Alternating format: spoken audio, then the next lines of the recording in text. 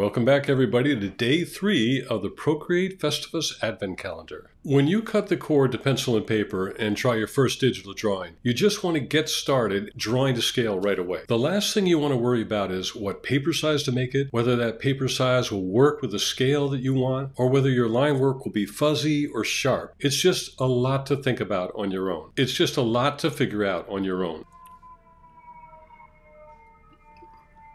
It's just a lot to figure out on your own. One of the most common actions we'll do in this class is to launch a new project by tapping the import button and then going to our iCloud drive and bringing in one of our grids. You can see here the imperial grids 17 by 11 and 24 by 18 and the metric grids A2 and A3.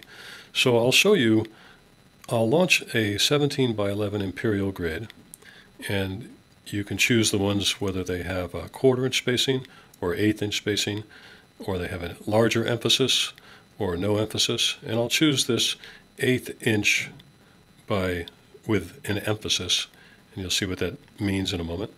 And there's your eighth inch and here's your emphasis.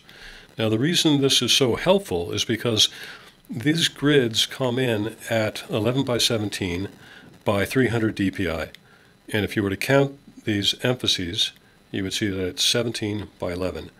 And why that's important is because the grids are also linked to the scale rulers.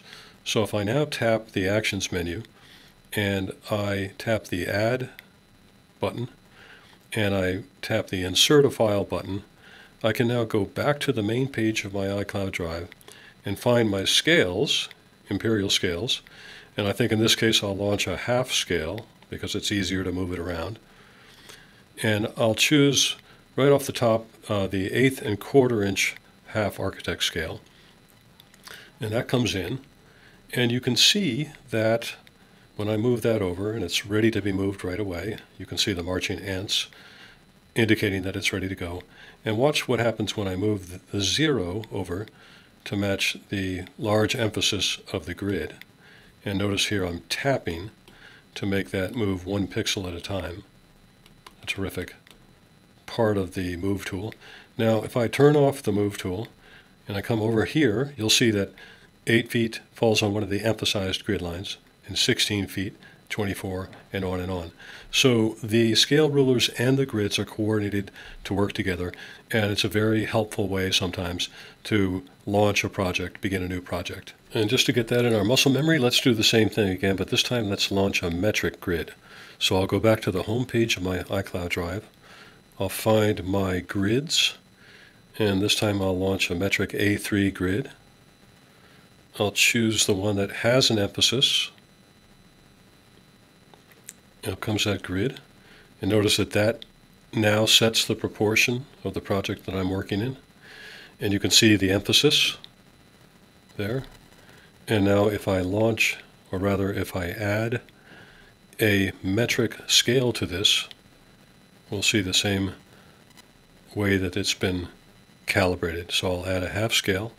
I'll go to the metric portion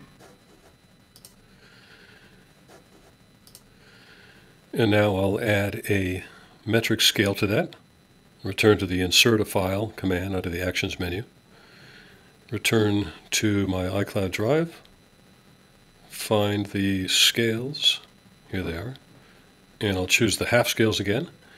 I'll choose the half metric. Maybe I'll go to 1, 1 equals 50 this time. Up comes the scale. And if I enlarge that, you can see once again that the metric scale is coordinated to the metric template.